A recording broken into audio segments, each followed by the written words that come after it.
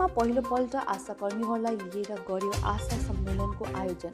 आशाकर्मीहरूको हितमा चाँडै योजना बनाउने मुख्यमन्त्रीले गरे घोषणा। मुख्यमन्त्री अनि मन्त्रीको बहुलीद्वारा जनायो आठजना आशाकर्मीलाई अभिनन्दन।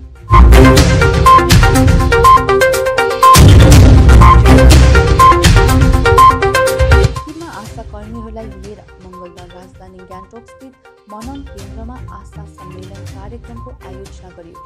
कार्यक्रममा मुख्य अतिथिको रूपमा राज्यका मुख्यमन्त्री प्रेमसिंह तामाङ उपस्थित रहेका थिए भने मानव संसाधन विकास विभाग मन्त्री टुङ्गा निमा लेप्चा विशिष्ट अतिथिको रूपमा उपस्थित थिए। सम्पन्न कार्यक्रममा राज्यका चारै जिल्लाबाट आशा कर्मीहरूले सहभागिता जनाएका थिए। कार्यक्रमलाई सम्बोधन गर्दै मुख्यमन्त्री तामाङले सिक्किमको स्वास्थ्य क्षेत्रलाई अघि बढाउन राज्य सरकार साथै आम मानिसहरूले आशा कर्मीमाथि ठुलो विश्वास र भरोसा राखेको जनाए। आशा कर्मीहरूलाई प्रोत्साहन गर्न यस प्रकारको कार्यक्रमले ठुलो सहयोग पुग्ने सम्भावना रहेको पनि तिनले जनाए।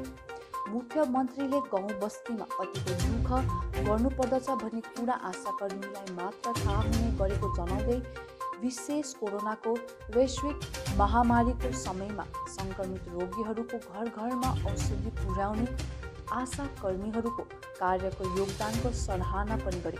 उनले आशाकर्मीद्वारा राखिएको माग स्थिति राम्रो भएपछि पुरा गर्ने वचन दिँदै आशाकर्मीहरूको हितमा जति सक्दो काम गर्ने आश्वासन दिए।